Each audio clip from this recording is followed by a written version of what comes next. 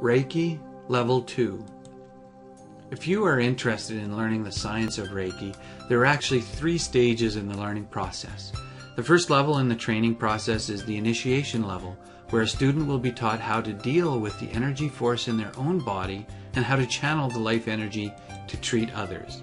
Once you're familiar with the channeling the Reiki energy, you may move on to level 2 training. In the past, and some still advise that you don't do this level for at least two months. They claim this allows your body to integrate. They claim it normally takes up to 21 days for complete cleansing to be completed.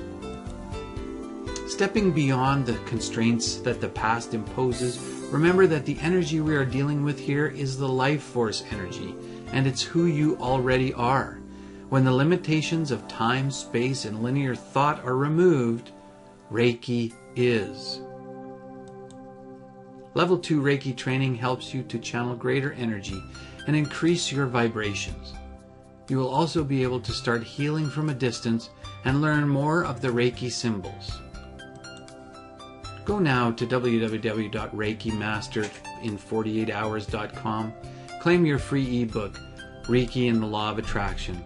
Learn how you can become a Reiki master in as little as 48 hours.